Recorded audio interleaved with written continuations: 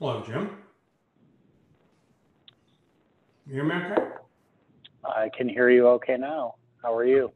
Good. Excellent. so there we go. Mm-hmm. All right. I'm working on one screen today. So Okay. I just have to look at something really quick. are you in your office? Yeah. I'm in my office. Good. Yeah. What's that? Looking good. Thank you. Uh,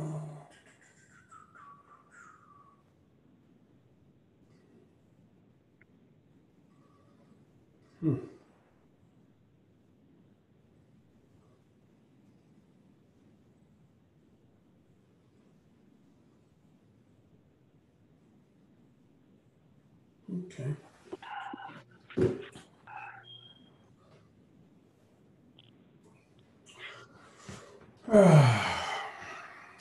What are we talking about today? I forget. Global Uh, warming. or strategy. Yeah, global warming today. and That is the grab and go growth topic. It's tactics on global warming.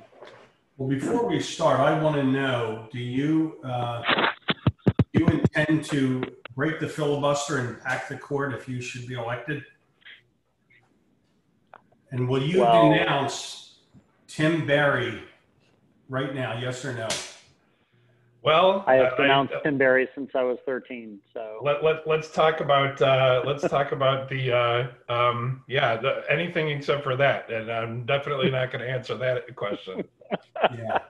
oh my god what a what a train wreck re- remember, we are being recorded right oh, now. oh yeah, yeah. No, that was uh, it was pretty awful. I thought it was it was horrific It was hard, hard It to was, it was a almost train watch. wreck.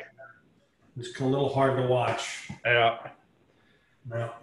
i think they just uh, i think we uh, bring samuel l jackson in as the moderator and uh, and i'll ask the questions Well, somebody said uh, in Facebook, they said, can we replace Chris Wallace with a uh, woman with small children that have been home since March?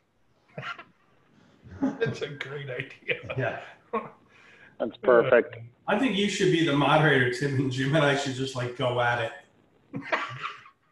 that would be Okay. fun that would be kind of fun yeah. I'd have to pull my eyes up like this, though. There you go. Okay, here we go. oh lord Too funny. Too much fun. Too funny. All right. Well, good. We got some people joining. Welcome uh, to those who have been here before. And uh, if you're new to this, welcome. Get started in a moment or two. Zig Ziglar used to say, he'd say, he'd ask the audience, he'd say, How many of you have seen me before, or else this is your first time? Please raise your hand. I. I love it. Yeah. So in chat, if you've seen us before, or this is your first time, please just uh, Ra- say click aye. raise your hand. Yeah, Yes. say aye. There you go. Somebody raised their hand, of course. Uh-huh. Clarissa, that's awesome. Of course they are. That is awesome. All right, we'll give it uh, we'll give it a moment or two, um, and we'll get started here.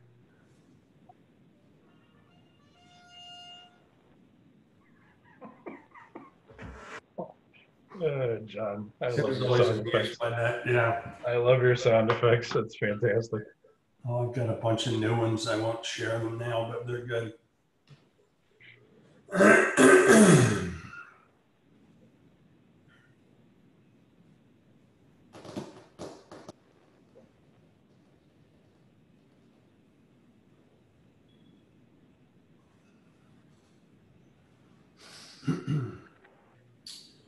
Welcome everybody who's joined us in the past moment or two. We'll get started at 12:31.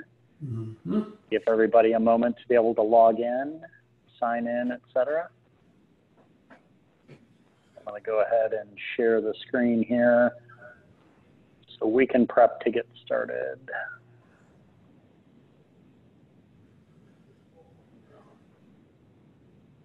Thank goodness for you guys. I'm in the middle. That's all I can say. wow. God, what a A rose surrounded by two thorns, right? Oh my goodness. Exactly. Whoops. I'm navigating on one screen today, so Oh boy. I know. Normally I have the luxury of two, but not today. But that's Living all right. I will. I'm living on the edge. All right. Well, let's go ahead and get started. My name is Jim Wilcox. Uh, I am the owner of Sandler Performance Center in Fort Wayne, Indiana, and South Bend, Indiana. And welcome to our Wednesday Grab and Go Growth Tactics session. I am joined by uh, my two esteemed colleagues who I will let introduce themselves. Tim, Tim Berry, why don't you go first this time? All right. Tell us who Thank you are where you're at. Uh, Tim Berry, I own the Sandler Performance Center in Fort Worth, Texas, in the Republic of Texas. Happy to be here as always. And without further ado, I will introduce the wildly handsome John Vanderslice. Well, thank you for that, Tim. I appreciate you stating the obvious. Um, yeah, hi, I'm John Vanderslice, and I own the Sandler Performance Center here in beautiful Garden State of New Jersey. So thank you and welcome everybody that's joined us. Uh, Michael Norton's here. Michael Norton's here, and I'm glad you like my background, Michael Norton. All right, tomorrow begins Q4, and so we're going to talk about uh, success strategies, growth strategies to get us through Q4 and beyond. And I'll say this at the end of the present, at the end of this, you know, presentation, but everything we do today to the end of the year is going to matter when it comes to our not only Q4, but it's going to matter as we go into 2021. And I cannot stress this enough. We've talked about this since COVID came around and we started this webinar series. Uh, we've touched on this in July when we talked about Q3 strategies. Um, I am curious if you were here for that webinar back at the, the, the very beginning of July when we talked about Q3 growth strategies and you implemented anything that we talked about in that session, throw that in chat right now and tell us what you did and what the success was. I'm curious um, what you guys have done to find success in Q3. But let's just start there really quick. We're, we're obviously going to be talking about our care strategy, how we go about that, and what that means. But Tim and John, anything that you guys have done specifically through Q3 that is that you guys have found success with in your businesses? And I'm going to open with that question for you guys. Good. Uh, yeah, you know, I, I think it's a good question, and you know, Q3 was interesting because we had a about a month or maybe a month and a half of COVID kind of changed the way we do business and the way we we sell. and uh, and honestly, uh, what I did was I doubled down on the prospecting side of things. So I just shifted my my cookbook and changed it from face-to-face meetings, which became obsolete uh, in Q3, really, and Mhm. then just uh, I but I did double down on the cold calling activity and doing things via Zoom and whatnot. So I, I found that uh, you know my behaviors uh, I just became more resolute and disciplined in my actual behaviors, and I just had to change the medium by which I did it. It went face to face to Zoom. So that that's that was the that's what made for a incredibly successful Q3. Excellent. Excellent. John, how about you? Yeah, I would agree with Tim. I think it was a matter of, uh, we, we talked to our clients about this. It was a matter of really doubling down or tripling down on behavior. Um, Mhm. I'm very fortunate. A lot of my business comes from referrals and introductions. I do a lot of networking, and obviously that face-to-face networking wasn't available. Uh, but the interesting thing was, um, and, and I don't mind cold calling. I really don't. And um, but typically for me in, in normal times, it's a little bit of a low yield activity. But what I, interestingly, what I found and a lot of our clients found out that there were a lot more people available on the telephone, answering the phone, right? They were home, Yeah. were available, and they're actually more interested in a conversation. So I think the key for us was really doubling down on the behaviors, uh, really pivoting to a new, uh, a new uh, lane in the business development. So it was very good. Yeah. Excellent. And I'll say for myself, you know, we had uh, a lot of delivery through Q3, and I had to reprioritize because it's really easy to get caught up in execution, especially when delivery or execution uh, is part of your role, and it's a great excuse uh, for being busy. So for me in my business, it's a reprioritization of those behaviors that Tim spoke of and putting those first. I know the delivery has to happen and the execution on that delivery has to happen. But if I don't do the behaviors, I don't set myself up for a good Q4 and beyond. So, um, in chat, uh, this is a question that I want you guys to respond to in chat as you think about your business. This could be from a sales perspective, an operational perspective, but I want it to be things that you can control. What is the one thing that must happen in your business related to sales or revenue we can add operations in there. What's the one thing that must happen, whether you're a business owner on this call, a manager on this call, a sales professional on this call? What's the one thing that must happen in Q4? Go ahead and type that into chat now. Uh, John, uh, you put consistent behavior. That's the one thing that must happen for you. Yeah. Yep. I think you know, for me, it's uh, sometimes I think we add complexity where we don't need to. And I think for me, it's repeating the fundamentals consistently. Yeah. Denise Mills put in there the first thing that must happen is dials. We cannot control response, but we can control our actions. And that is 100% spot on. Tim, you're shaking your head. I can tell you want to comment on that. Yeah, that one, that that's the that's the the the difference between your top performers who have that mindset of abundance versus the variable or low performers who don't and and just you know controlling the uh, you know our actions the the top 10 behaviors of mm-hmm. uh, you know the sales actions is the is without question it's the most important thing yeah i spoke with a prospective client this week who said jim we don't have a revenue problem uh, we have a behavior problem so we're really busy right now. We have plenty of work. But as I look forward, we're not doing the right behaviors to generate revenue through Q4 into Q1 of 2021, and that scares me. Um, and so that to me is a very real thing. Uh, Leo just typed in staying diligent and focused on the day to day. Michael Norton, leave Q4 with closing what's in the qualified funnel, make sure we're positioned for Q1 to hit the new year running. That is excellent. Thank you. Continue to put your responses in. What's the one thing that must happen in Q4 related to your business, um, in your business related to sales, revenue operations, et cetera? Would like to continue to get feedback from you on that. So, one of the things that we train every single client on is our care strategy. And it's important enough to bring this up a second time uh, this year in this webinar series. Uh, CARE is our strategy for client segmentation. It helps us with a couple of things that we're going to refer to uh, throughout this uh, next few minutes together. But this is how we prioritize our books of business, the territories that we own and run, et cetera.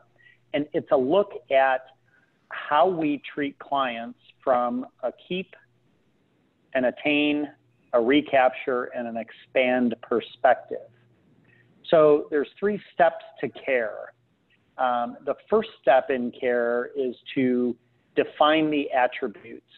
The second step is to identify the behaviors. The third step is to identify the individuals or the organizations that we commit to uh, tackling or getting in front of, et cetera, in the next 90 day period. Too often, companies will look at their strategy from a beginning of the year perspective and it ends up being the health club approach. Tim, you know the health club approach, right? From the beginning of the year? Oh yeah, absolutely. You go crazy in the, the beginning, you go cr- crazy in the beginning for the first uh, 30 days and, and you take your foot off the gas and, and by, by uh, tax day, uh, everybody quits. Exactly. And so, John, can you walk us through the attributes exercise of care. This is step one. why do we start here and, and what are we looking for here? You know, I think it's, again, I think it, if you go back and think about, you know, com, you know, repeating fundamentals consistently, I think it's got to start, you know, Stephen Covey, a great thing in Seven Habits of Highly Effective People, begin, begin with the end in mind.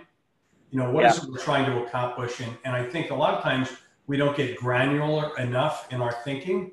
And I think the care model forces us to get granular to say, for example, you know, uh, under under keep, right? Who are those clients that we really want to keep? Uh, they're, you know, uh, we all know it, it's more expensive to get a new account than keep an account.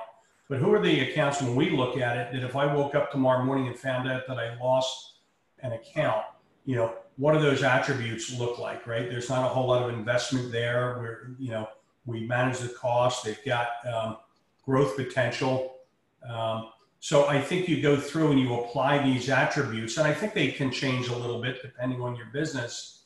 Um, and also, I think under under keep, for example, um, who are the people sometimes that we don't want to keep? I know one of my clients at the end of the year, you know, takes a look, and sometimes we acquire clients that are not good for our business, uh, and and we shed those. So I think taking this granular approach, Jim, um, just makes a lot of sense rather than saying, hey we want to grow the business X percent next year. Yeah, I think it's critically important that we do get granular with these attributes in each one of these quadrants. And I'll give you an example. At a, a conversation with a client a couple weeks ago. We were looking through the attain behaviors, and and if nothing else, screenshot this, uh, reach out to any one of us. We're happy to send this to you. If you copy and paste these, it's it's a great starting point but we've got to get granular because all of us operate in a little bit of a different world. All of us look at our clients slightly different. And for my client that I had a conversation with, you know, it says low vulnerability here in the attain bucket. Well, they are in a commodity business. And so everything that they do in touch is high vulnerability for them. And he said, Jim, can I change that to high vulnerability? Because I disagree with that. And I said, absolutely. It's got to be specific to your world and it's got to be specific to your culture, what you're looking for. One of the things uh, that this does is it helps us identify our ideal client profile, right? And, and Tim, I'll ask you, why, why do we want to get to that point? Yeah, I mean, it's, you know, it's a good question. It's, you know, you, you've got to have your ideal client profile so you, you can build your, your uh, hunting activities, your prospecting activities around going after the the right kinds of clients. Uh, you know, I'll give you an example. I've got a client who, uh, you know, has gone through this exercise to build that ideal client profile, and one of the things that they state is is they're not looking for uh, companies that you know targets that will pay slow, 180 day terms and stuff like that. And so I, again, you've got to know what you're you're you're hunting for and and, and again yeah. whether you're you're account managing or whether you're you're you're an actual sales hunter you, you you've got to have that profile specific enough so you know who the heck to go hunt in the first place exactly and i think that you know once you go through this exercise it becomes abundantly clear exactly what we're looking for it doesn't mean we don't take others on but it really solidifies our ideal client profile. I, I, use the example of a dartboard all the time. We look at the red center of a dartboard. That's the ultimate target. That's where the ultimate points are. It's the hardest to hit, but I'm certainly going to take the points in the concentric circles that go out beyond that. And I can make decisions when I'm looking for business. I can make decisions at that point as to as to how hard I want to pursue relative to how close they are to that dead center bullseye for me. So, first step in this care process is to get very, very granular with the attributes of each one of these quadrants. Who do I want to keep? Who do I want to attain? Who do I want to recapture? And who do I want to expand? Yep. Second step is identifying the behaviors. And again, we want to get granular here. And so behaviors for me for uh, keep might be different not only within my organization, but they may be different from client to client. And I'll give you an example. I'm playing golf this Friday with a longtime client of mine, and this round of golf as part of our each other's keep strategy. In the spring, I play golf with him at his favorite spot, and in the fall, he plays golf with me at my favorite spot. It is 100% part of our keep strategy. Now, I don't do that with everybody. Uh, I would like to, but not all of my clients golf. So, um, and so I have some very granular things that I do with clients as part of that keep strategy. What have you guys seen, John or Tim? What have you guys seen in terms of uh, keep strategies that are maybe unique or client specific as they go out and exercise on their or execute on their uh, care strategies? Yeah, I think it's things like what you say, Jim. I mean, I, I have clients, I'm a golfer as well, and a lot of my clients are golfers. And I think sometimes, you know, there's nothing wrong with uh, incorporating some fun with a business meeting. So I have clients that will have, uh, you know, an annual golf trip. We have clients that, uh, even our own clients in organizational excellence and mastery, we actually have a, uh, a social director that he puts, uh, they, they want to get together as uh, in a networking setting and have some fun. We have an annual fishing trip every year in the fall. Um, I've seen people have the Caesar meetings. You know, they have meetings, uh, uh, quarterly meetings, business check-ins. Um, you know, but I think you know you have to work out um, not only the strategy, right, but what are the tactics specifically that you're that it's going to be. And again, I think we don't need to add complication. It's simply keeping in touch, uh, showing that we care, uh, C A R E, and making sure that we Mhm. understand the business and nothing has changed. And however we decide to do that um, is, uh, you know, is up to us. But it's something that has to be done. Those touches have to be made. You know. Yeah, and I can't I can't stress this one enough. When you think about our responsibilities as sales professionals, we basically have two at the highest level. The first responsibility is to keep the clients that we have that generate our revenue, right? So our our top uh, five percent, ten percent, twenty percent of clients that generate the bulk of our revenue. Those are the important ones that we want to hang on to. We don't want the competition snooping around. We don't want to lose them for reasons that are preventable. The second responsibility that we have is to disrupt other people's relationships, right? Now, certainly there are net new prospects out there that have never done business in our particular field, you know, but by and large, our job is to go out and disrupt other relationships to be able to get new business.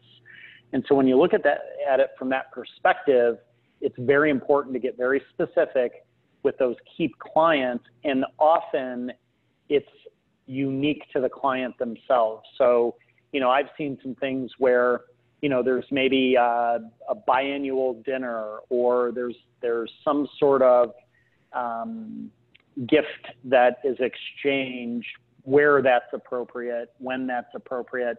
I've got a um, uh, I know of a company where they make bourbon, and so their top five percent of their clients get a bottle of their best bourbon. You know, unfortunately, I'm not a client, but I'm working on that. So, just kidding. But we want to get specific so that we know what we're doing in order to keep clients. Michael Norton wrote in there having a quarterly value review instead of a quarterly business review is key. And I agree 100%, Michael. Thank you for putting that in, ch- in, in chat. It's one of the questions in the keep strategy is what value am I bringing to this relationship for you? That's different than saying to Michael, for example, Hey, Michael, how's it going? What do you need? Right? It's Michael, what value am I bringing? Because if I'm not bringing value, then we've got to identify what I should be bringing, or you should fire me right? So I'm not bringing value, you shouldn't pay me. That's a very vulnerable, but very, very powerful conversation to have. Yeah, and I think that's a great point because I've seen that go wrong where um, there's a company um, that does something called strategic customer management, um, mm-hmm. uh, forensic customer management, excuse me, and they talk about these value claim presentations to be done at, at these quarterly value reviews. The, the trouble with it was the value was their perceived value. that they were providing. They were saying, Yeah. here's the value we brought you, here's the value we brought you. It has to be looked at from the other side. What value do you perceive Yep. bring? And kind of how do I get fired? Right? Yeah. Uh, great question. And I think, you know, we have to start with strategy, right? The overview of what it is we're trying to accomplish, and then the tactics come next. I think sometimes we run down the track with a tactic and we've not thought through the strategy, and that can go wrong. I'll put a kind of a cool quote here in the uh, in the chat box that I, I like quite a bit of, about that, um, which says strategy without tactics is the slowest road to victory. Tactics without strategy is the noise before defeat. So I think, I think that's excellent. exercise. I think that's excellent. One thing I'll add to that, John, is we we have incredible tools within Sandler, and Michael Norton actually referenced one of our tools, the QVR tool. There's also a tool there to help identify the value that you bring from the client's perspective. So if you want more information on that, whether you're a client on this call or you're new to Sandler, new to us, reach out to us, and we're happy to have a discussion on those tools with you. Now, as we look over to the attain portion of our behaviors, this starts to identify uh, what our cookbook for success looks like. Certainly, there are, there are keep behaviors that we do on a biannual, annual basis with clients, but the attain segment, that's our daily, weekly, monthly, quarterly hunting of new opportunities out there for those of us that are responsible for that. Those behaviors should be incredibly granular we have ours defined, we have ours agreed upon, and, and we have accountability around those behaviors. We understand what we have to do in order to go out and attain new business. And it's things like picking up the phone and prospecting, doing free talks, right? Running sales meetings for prospective companies. Tim, what type of attain activities are you doing in addition to that? Yeah, I think uh, I think the uh, the other things are you know leveraging uh, LinkedIn connections, uh, building your Mhm. correct lists, target lists, and you know sending them emails, uh, blogging, and providing and building content uh, is important. Uh, you know, networking. Even in Yep. COVID, you can still network. It's just virtually, and we've done some of that. Doing public speaking to get some messaging and, and to, to provide free content for, for others to attract conversations. So those are some other things uh, that that you you have to have built into your, your daily routine. And let's not forget the referral conversation in there as well. That's a hugely important one. Michael Norton just just mentioned that. Recapture and expand. Those are highly um, likely that they're referral type conversations internally or externally in there. But there are some other types of behaviors that companies do very specifically around both of those type of activities. And so again, it's important to get granular. Now, the third step in having a successful care strategy is to identify the companies. And this is where things get interesting. For, for me and my company, we're five people in the company, three people that produce, two office staff. Our care strategies are handwritten. And so we certainly have a CRM that helps us with the data uh, that's in there, but we handwrite it out. We have a number of meetings that we're going to have from a keep perspective. Those are plotted out, expected to be on a calendar. From an attain perspective, that's our daily cookbook. We have those companies listed and what our strategies are to attain within those companies. And then we have our lists of recapture and expand. We have other companies, and I'll ask John and Tim to comment on this in a second. We have other companies that have very sophisticated data intelligence within their corporations. I have a couple companies where they have tagged in their CRM K A R E for every client so they can quickly run reports on this and it's very automated. What are you guys seeing with your clients around listing out the companies from this regard? Yeah, I think I, I don't have any of those clients that have that a level of sophistication, but I do have.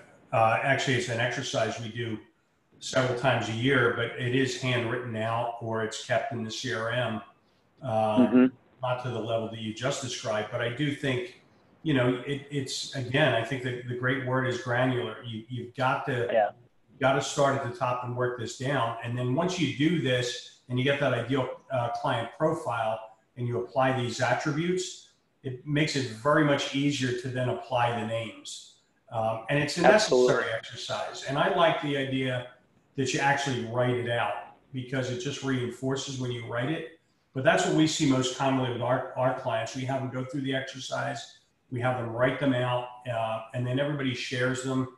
Um, and it's, Yep. it's, it's just a great reminder. And I would agree with that too, John. We see the most that are written out, but there are some very sophisticated companies out there that have chosen to put this type of stuff within their CRM systems. And so it, it either way, the risk here is if you only do it one time and you don't look at it in the next quarter or the subsequent quarters after that. To do a KARE strategy and never go back to it is a waste of time and energy this is intended to be a living, breathing document. So when I come to my team, for example, and I have names that have carried over from quarter three to quarter four, I had better be ready, willing, and able to defend, justify, and explain my rationale for that because I should be checking those names off. And if I'm still pursuing them, that's okay. I just want to be able to defend it to my team to whom I'm accountable to. So, any other comments on this before we move on over the next minute or two that we have left here?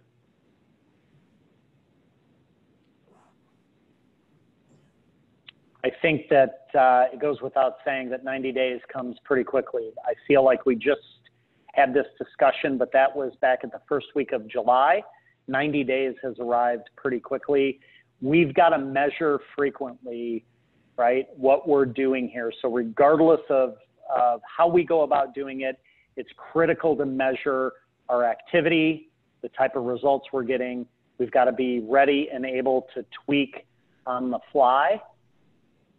Execution is key. This is an example of one of our Sandler tools that allows us to put um, our KARE strategy within the tool, and we can define the type of activities that are around there and then we can track those behaviors however we go about it. Um, again, I have companies that have it handwritten, they keep it in an Excel spreadsheet, or it's fully automated within their sophisticated CRM system.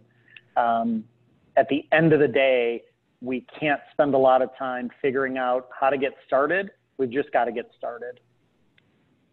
Gentlemen, any comments on that? Yeah, No, Jim, I think right. I think you have to do whatever works for you. I, I think I've seen a couple people, a couple clients of mine get a little stuck trying to do this exactly right. And if it means you got to get a piece of paper and write it down, do that, right? A partially, you know, executed plan uh, today is better Yeah. than a, uh, you know, plan we don't execute it all tomorrow. So, um, you know, don't get stuck on it. I think what if you, if you like to work in Excel, do it in Excel. You like to write it down, Yep. write it down. If you want to put it in your CRM, put it in your CRM. But you just have to do it. And you pick and, and start small. Pick one element if you want. Pick one one uh, of the four. You know, Yeah. the band, for example, and go with it. Exactly. I have a client who recapture is the biggest part of their strategy. It's balanced, right? But they've got a lot of recapture opportunities in Q4, and that's what they're focusing on. So this is just a screenshot of uh, some very public companies that I put in here. The idea is to be very granular, right? So write it out with detail, put it in your CRM with detail, et cetera. Going back to um, uh, plan, do, measure, adjust. We want to adjust as necessary. We want to adjust frequent, frequently. And then I'll go back to what we led with. Every single thing that we do in Q4 is going to have an impact not only on that quarter, but as we go into 2021. There are things that matter. There are things that we can control. It's that intersection of those two that we've got to focus on. KARE is one of them. Uh, Tim, John, any parting words? We're at our time. As always, I think, appreciate uh, you just- guys being here with me. just the encouragement uh, for everybody on the call is this is you know uh, it's been a tough year for a lot of people and uh, now is not the time to take your foot off the, the gas or play victim it's it's time to double down on the big behaviors close strong and remember that your competition is probably sitting around feeling sorry for themselves right now, and this is not the time to feel sorry for yourselves. So let's let's close the year strong by doing uh, by doing the, the right behaviors. Absolutely. All right. Appreciate everybody being here. If you've got questions about KARE strategy, sales, sales leadership, organizational excellence, reach out to us. Our contact information is here. I'm in Indiana. Tim's in Texas. John's somewhere in the United States. I think it's called New Jersey. Yes, New Jersey. Uh, that's where John is, the Garden State. Southern New Jersey, not Northern New Jersey. So appreciate everybody's time today. Have a great week selling. We'll see you next week on the next Grab and Go Growth Tactics webinar. Thanks, team. Have a great day. Appreciate everybody being here. We'll talk soon. Ciao.